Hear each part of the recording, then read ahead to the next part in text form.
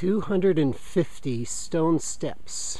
That's how far it was from check-in to the cabin that we've stayed in on Moganshan Mountain the last few days, three hours outside of Shanghai.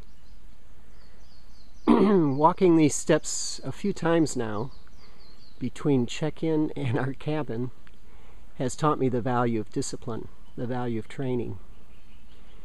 Because if you are not aerobically prepared for what you're going to experience climbing these steps, it seems almost like a life and death experience. On the other hand, if you've put the time in, if you've paid your dues to prepare to be disciplined, to be capable and competent, then it's a sense of victory every time you can climb the steps and get to the top without breathing for your life. And I suspect that there are similar disciplines in business the way we think about our customers, the way we manage our finances, the way we think about our employees and build together cohesive teams.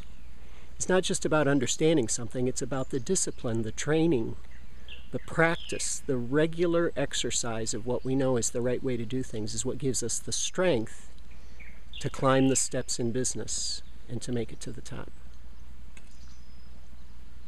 Well, those are my thoughts climbing the 250 steps this morning to our cabin on Moganshan Mountain. Hope you have a great day.